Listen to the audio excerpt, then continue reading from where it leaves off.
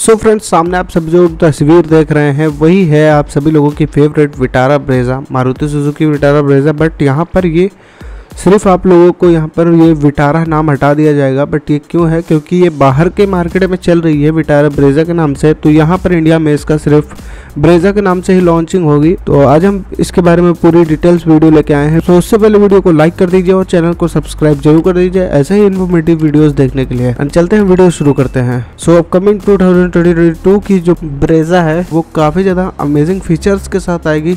Reflector ORVM वगैरह पे कुछ चेंजेस हुए हैं। अंदर इंस्ट्रूमेंट क्लस्टर चेंज हुआ है। बाकी इंटीरियर में कुछ चेंज किए गए हैं सीट कवर्स चेंज हुए हैं।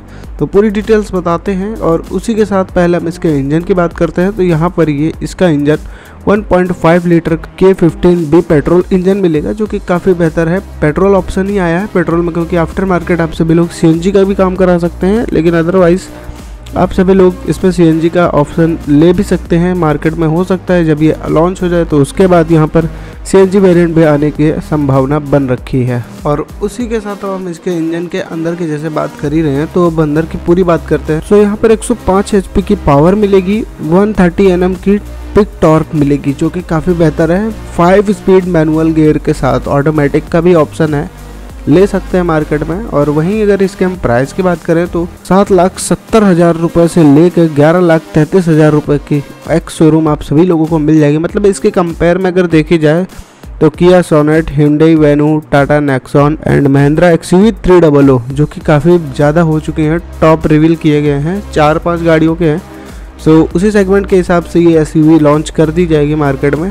बाकी आप सभी लोगों को पता चल ही जाएगा। तो भाई सब्सक्राइब ज़रूर ही कर दो हमारे चैनल को। और बहुत लोग कमेंट कर रहे थे कि भाई इसका एवरेज क्या होने वाला है। तो यहाँ पर भाई 26 के का जो एवरेज है, वो कंपनी बता रही है। बट आफ्टर मार्केट देखना पड़ेगा कि जब ये लॉन्च होगी तो क्या इसके माइलेज होने वाला है। और जैसे बहुत लोग कह रहे हैं कि क्या क्या चेंज किया जाएगा तो यहाँ पर एल एलईडी टेल लैम्प में थोड़ा सा चेंज कर दिया जाएगा। रिफ्लेक्टर भी बिल्कुल सेम ही रहने वाले हैं ऑलमोस्ट और यहाँ पर कुछ नहीं, सिर्फ़ ब्रेजा की बेजिंग बीच में मिलेगी, बाकी 360 डिग्री कैमरा मिल जाएगा, जो कि काफ़ी बेहतर है अभी सुजुकी की, और अदर सभी गाड़ियों में अब 360 डिग्री कैमरा आ गया है ऑलमोस्ट और उसी के साथ भाई देखा होगा आप लोगों ने एक्सवी सेवन डबल ओ में आया है 360 डिग्री उसी के साथ इसकी न्यू वाली बलिनो में आया है। और वही हम बात करते हैं न्यू वाली बलिनो की तो यहाँ पर भाई वो भी गाड़ी काफ़ी ज़्यादा मार्केट में सेल हो रही है। एक शोरूम प्राइस बहुत ही सस्ते हैं तो उसको भी बहुत लोग हेट कर रहे थे स्टार्टिंग में कि कि वो गाड़ी जो है वो सक्सेस नहीं है।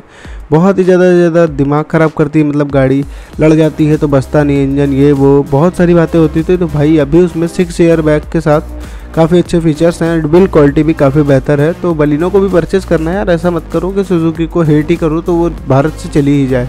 ऐसा बिल्कुल मत करो। ज़रूर ज़रूर सभी लोग, भाई जितने भी लोग हमारी वीडियोस देखते हैं ना, सभी सब्सक्राइब करो और सुजुकी या टाटा या महिंद्रा या लैंड रोवर जो मतलब जितनी भी कंपनियाँ हैं, सबकी गाड़ी खरीदो मतलब ऐसी कोई बात नहीं है कि गाड़ी खरीदो नहीं मतलब ठीक ठाक है। और ब्रेजर तो स्टार्टिंग में भी आपको three star two star rating देती थी, यहाँ से five star four star rating तो ऑलमोस्ट दे ही देगी। और उसी के साथ इस गाड़ी में भी आप सभी लोगों को छः एयर बैग देखने को मिल जाएँगे, जो कि काफ़ी बेहतर है। अपने सेगमेंट के एसयूवी में ऐसा छः एयर बैग बहुत डिफ़िकल्ट होता है बट यहाँ पर इसमें सिक्स एयर बैग भी आप सभी लोगों को प्रोवाइड किए जाएँगे।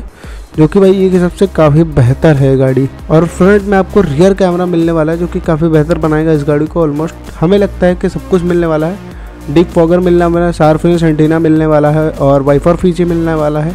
और क्या चाहिए भाई गाड़ी में? और भाई शुरू होती है लगभग सात लाख सत्तर हज़ार रुपये से एक शोरूम शुरू होती है। बेस वेरिएंट अल्फ़ा जेटा कौन कौन से ये नहीं पता कि भाई ये हार्ट अटैक प्लेटफॉर्म से बनेगी या फिर अल्फ़ा प्लेटफॉर्म से बनेगी बट ऐसे ही लॉन्च होगी तो आपको इन्फॉर्मेशन दे देंगे। ये छोटी सी वीडियो आप सभी को कैसी लगी कमेंट बॉक्स में ज़रूर बताना और सब्सक्राइब प्लीज़ कर देना हमारे यूट्यूब चैनल को।